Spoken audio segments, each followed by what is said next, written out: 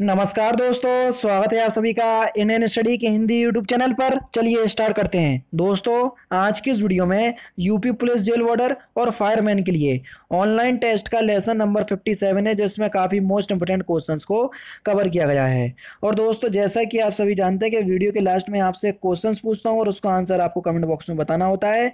तो आज मैं फिर आपसे एक क्वेश्चन पूछूँगा और आंसर आपको कमेंट बॉक्स में बताना होगा। दोस्तों, मैं अकेडमी पर ही पढ़ाता हूँ। अन अकेडमी की प्रोफ़ाइल का लिंक डिस्क्रिप्शन में दिया है तो आप एक बार ज़रूर से चेक कर लीजिए। और अगर आप अन अकेडमी प्लस पर मेरे साथ पढ़ना चाहते हैं तो मैं अकेडमी के प्लस प्लेटफॉर्म पर रेलवे के सारे एग्ज़ाम्स की तैयारी करवा रहा हूँ। रेफरल कोड है तारिक सर्वर फाइव इस रेफरल कोड से आप अन अकेडमी के प्लस सब्सक्रिप्शन को परचेज करने के लिए दस तक का डिस्काउंट प्राप्त कर सकते हैं। तो चलिए दोस्तों स्टार्ट करते हैं और देख लेते हैं पहला क्वेश्चन तो पहला क्वेश्चन आपके सामने ये रहा।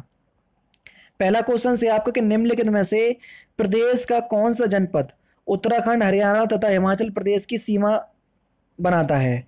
मेरठ, सोनभद्र, सहारनपुर या मुजफ्फरनगर? तो जल्दी से बता दीजिए कि निम्नलिखित में से कौन सा ऐसा जनपद है जो उत्तराखंड, हरियाणा तथा हिमाचल प्रदेश के के साथ सीमा बनाता है? बेहद इंपॉर्टेंट क्वेश्चंस तो आपका जो सही आंसर हो जाएगा, वह हो जाएगा आपका सहारनपुर। कौन सा है दोस्तों? सहारनपुर तीसरा ऑप्शन आपका बिल्कुल करेक्ट है।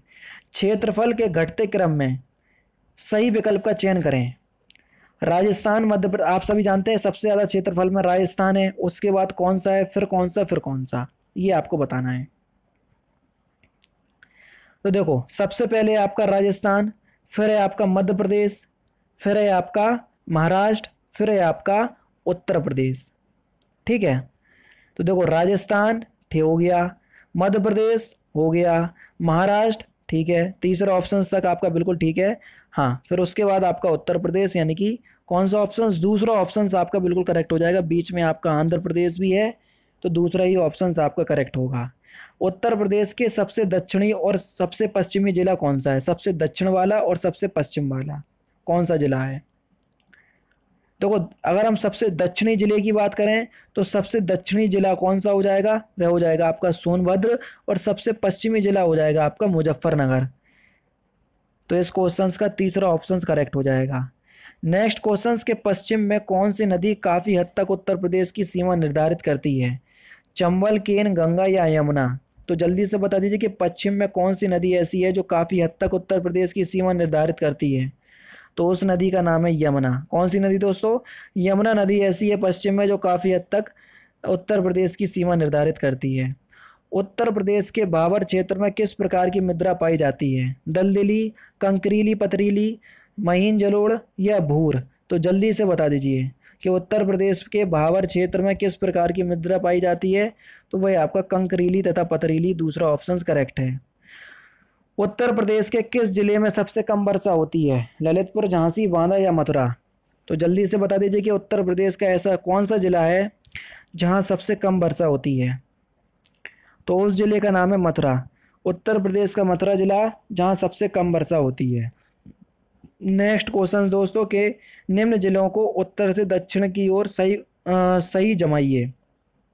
जो उत्तर में है सबसे उत्तर में और सबसे दक्षिण में, कौन सा है ये हमको बताना है, ठीक है? और सारे ज़िले दिए हैं, उनको उत्तर से दक्षिण की ओर जमाना है। देखो, ये क्वेश्चन आप तभी कर पाओगे जब आपको उत्तर प्रदेश का मैप अच्छी तरीके से आता होगा, वरना आप इस क्वेश्चन को छोड़ ही देंगे। तो सबसे आंसर हो जाएगा आपका सबसे सही दूसरा ऑप्शन सिद्धार्थ नगर संत रविदास नगर या संत कबीर नगर रविदास नगर नहीं है, संत कबीर नगर अंबेडकर नगर फिर है संत रविदास नगर, यानी कि दूसरा ऑप्शन करेक्ट है। प्रवेश में पूर्व से पश्चिम की ओर बढ़ने पर वर्षा की मात्रा सामान्यता क्या होती है? कम हो जाती है, बढ़ती है, कोई अंतर नहीं होता है, या पहले घटती है, फिर बढ़ती है। तो आपका जो सही आंसर है, वो है आपका कम होती है, यानी कि पहला ऑप्शन जो है, वो आपका बिल्कुल करेक्ट हो जाएगा। नेक्स्ट क्वेश्चंस की तरफ़ चलते हैं। प्रदेश के किस ज़िले में सर्वाधिक वर्षा होती है, ये हमसे पूछा गया है। वांदा, वाराणसी, मुरादाबाद या गोरखपुर। प्रदेश के किस ज़िले में सर्वाधिक वर्षा होती है? बांदा, वाराणसी, मुरादाबाद या गोरखपुर? तो दोस्तों, अगर हम बात करें कि प्रदेश के उस ज़िले की जहाँ सबसे ज़्यादा वर्षा होती है तो उस ज़िले का नाम है गोरखपुर। जी हाँ दोस्तों, गोरखपुर में सबसे ज़्यादा वर्षा होती है। प्रदेश की सबसे ऊँची सोनकर और कैमूर पहाड़ियाँ किन ज़िले में स्थित हैं? बांदा, चित्रकूट मिर्ज़ापुर, सोनभद्र ललितपुर झांसी या हमीर महोबा, हमीरपुर। तो प्रदेश की सबसे ऊँची सोन सोनाकर और कैमूर पहाड़ियाँ किस जिलों, किन जिलों में स्थित हैं? तो आपका जो सही आंसर हो जाएगा, वह हो जाएगा आपका मिर्ज़ापुर और सोनभद्र। यानी कि सोनाकर की पहाड़ियाँ मिर्ज़ापुर में और कैमूर की पहाड़ियाँ सोनभद्र में स्थित हैं। बघेलखंड का कुछ भाग उत्तर प्रदेश के किस बुंदेलखंडीय क्षेत्र में पड़ता है? ललितपुर, झांसी, सोनभद्र या चित्रकूट? तो जल्दी से बता दीजिए कि बघेलखंड का कुछ भाग उत्तर प्रदेश के किस बुंदेलखंडीय क्षेत्र में पड़ता है? तो आपका जो सही आंसर हो जाएगा, वह हो जाएगा आपका सोनभद्र। कौन सा दोस्तों? सोनभद्र तीसरा ऑप्शन आपका करेक्ट है। उत्तर प्रदेश का कौन क्षेत्र आग अकल्प की प्राचीनतम शैलों से निर्मित है? बुंदेलखंड रुहेलखंड शिवालिक या विध्यांचल। तो जल्दी से बता दीजिए कि उत्तर प्रदेश का कौन क्षेत्र आग कल्प की प्राचीनतम शैलों से निर्मित है?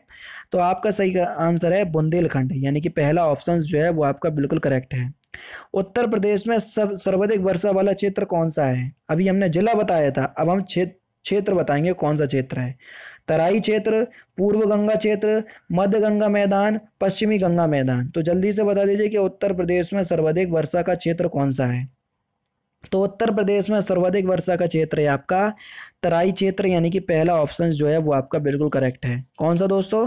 पहला ऑप्शन 2011 की जनगणना के अनुसार उत्तर प्रदेश की जनसंख्या भारत की जनसंख्या की कितनी प्रतिशत है? बेहद इंपॉर्टेंट क्वेश्चन चौदह दशमलव के दो परसेंट, पंद्रह दशमलव के पाँच परसेंट, सोलह दशमलव के पाँच परसेंट या एटीन पॉइंट टू परसेंट। तो जल्दी से बता दीजिए कि 2011 की जनगणना के अनुसार उत्तर प्रदेश की जनसंख्या भारत की जनसंख्या की कितनी प्रतिशत है? तो आपका जो सही आंसर है वो है आपका सिक्सटीन पॉइंट फाइव परसेंट, यानी कि तीसरा ऑप्शन आपका बिल्कुल करेक्ट है। नेक्स्ट है आपका कि निम्न में से सर्वाधिक क्षेत्रफल वाला जिला कौन सा है? सोनभद्र, सीतापुर, हरदोई या लखीमपुर खीरी? तो जल्दी से बता दीजिए कि निम्नलिखित, निम्न में सर्वाधिक क्षेत्रफल वाला जिला कौन सा है? तो निम्न में से सर्वाधिक क्षेत्रफल वाला जिला है आपका लखीमपुर खीरी, यानी कि चौथा ऑप्शन आपका बिल्कुल करेक्ट है। क्षेत्रफल की दृष्टि से उत्तर प्रदेश का भारतीय राज्यों में कौन सा स्थान है? प्रथम, चतुर्थ, तृतीय या सप्तम। तो क्षेत्रफल की दृष्टि से उत्तर प्रदेश का भारतीय राज्य में कौन सा स्थान है? तो वह है आपका चतुर्थ स्थान, यानी कि चौथा, दूसरा ऑप्शन जो है वो आपका बिल्कुल करेक्ट है। नेक्स्ट क्वेश्चन दोस्तों आपके सामने के निम्न निम्नलिखित में से किस फ़सल के उत्पादन में उत्तर प्रदेश प्रथम स्थान पर नहीं है? गेहूँ, जो, गन्ना या चावल। तो देखो, गेहूँ के उत्पादन में तो उत्तर प्रदेश पहले स्थान पर है, बिल्कुल ठीक है। जौ के उत्पादन पे भी है, गन्ना के उत्पादन पे भी है, लेकिन चावल के उत्पादन में उत्तर प्रदेश पहले स्थान पर नहीं है, इसलिए चौथा ऑप्शन जो हो जाएगा वो बिल्कुल करेक्ट हो जाएगा। नेक्स्ट क्वेश्चन के उत्तर प्रदेश को कितने सस्य जलवायु क्षेत्रों में विभाजित किया गया है? इलेवन नाइन सेवन या उपरोक्त में से कोई नहीं। तो उत्तर प्रदेश को कितने सस्य जलवायु क्षेत्रों में विभाजित किया गया है? तो आपका जो सही आंसर हो जाएगा, वह हो जाएगा आपका दूसरा यानी कि नौ। उत्तर प्रदेश को नौ सस्य जलवायु क्षेत्रों में विभाजित किया गया है। नेक्स्ट क्वेश्चन आपके सामने। उत्तर प्रदेश की प्रमुख तिलहनी फ़सल कौन सी है? सूरजमुखी, कुसुम, राई सरसों या अलसी? तो जल्दी से बता दीजिए कि उत्तर प्रदेश की प्रमुख तिलहनी फ़सल कौन सी है? तो अगर हम बात करें दोस्तों उत्तर प्रदेश की प्रमुख तिलहनी फ़सल के बारे में तो उस फ़सल का नाम है राई सरसों। उत्तर प्रदेश की प्रमुख तिलहनी फ़सल कौन सी है? राई सरसों। लास्ट क्वेश्चन से आपका कि उत्तर प्रदेश या भारत में उत्तर प्रदेश अगणनीय उत्पादन अगणनीय उत्पादन किसमें रखता है उत्तर प्रदेश? जौ का, चावल का, बाजरे का या दालों का? तो उत्तर प्रदेश जो अगणनीय उत्पादन में किस फ़सल का उत्पादन अगणनीय रखता है या सबसे ज़्यादा रखता है? तो वह है आपका जौ का। जी हाँ दोस्तों, जौ जो है उत्तर प्रदेश जौ के उत्पादन में अग्रणीय यानी कि प्रथम स्थान पर है। अभी पहले मैंने आपको पढ़ाया भी है, ठीक है? तो दोस्तों, ये थे आपके ट्वेंटी मोस्ट इंपोर्टेंट क्वेश्चंस जो कि मैंने आज की इस वीडियो में आपको कवर करवा दिए। अब आपको ईमानदारी के साथ बताना है कि आपके इसमें कितने नंबर आ रहे हैं। अब दोस्तों, मैं आपसे क्वेश्चन पूछने जा रहा हूँ और उसका आंसर आपको कमेंट बॉक्स में बताना है। तो आज का जो आपका क्वेश्चन है, वो ये आपके सामने कि उत्तर प्रदेश की सबसे महत्वपूर्ण नगदी फ़सल कौन सी है? आलू, गन्ना, गेहूँ या दलहन? तो सही आंसर जो है, वो आपको कमेंट बॉक्स में बताना है कि उत्तर प्रदेश की सबसे महत्वपूर्ण नगदी फ़सल कौन सी है? ठीक है? तो ये इस क्वेश्चन का आंसर आपको कमेंट बॉक्स में बताना है। और दोस्तों, फ़िलहाल की वीडियो में सिर्फ़ इतना ही। अगर आपको वीडियो पसंद आए तो अपने दोस्तों के साथ, उन दोस्तों के साथ कम से कम शेयर कर दीजिए, जो यूपी जेल वार्डर और फायरमैन की तैयारी कर रहे हैं। एग्ज़ाम डेट के बारे में मैं आपको बताऊँ कि अभी भर्ती बोर्ड की तरफ़ से कोई भी नोटिस नहीं है एग्ज़ाम डेट का। जैसे ही भर्ती बोर्ड की तरफ़ से कोई भी नोटिस आएगा तो मैं आपको बता दूँगा, क्योंकि मैं अगर किसी न्यूज़पेपर की कटिंग बताता हूँ तो आप लोगों को बुरा लगता है। इसलिए मैं भर्ती बोर्ड का ही नोटिस आपको बताऊँगा, जब कोई नोटिस आएगा यूपी जेल वार्डर के एग्ज़ाम से रिलेटेड तो दोस्तों, फ़िलहाल की वीडियो में सिर्फ़ इतना ही। अगर आपको वीडियो पसंद आए तो प्लीज़ वीडियो को लाइक कीजिए शेयर कीजिए और साथ ही साथ मुझे अकेडमी पर या मेरे चैनल को सब्सक्राइब करना ना भूलें, क्योंकि मैं रोज़ाना इसी तरह की वीडियोज़ आप लोगों के लिए लाता रहता हूँ। नमस्कार दोस्तों, जय हिंद, जय भारत।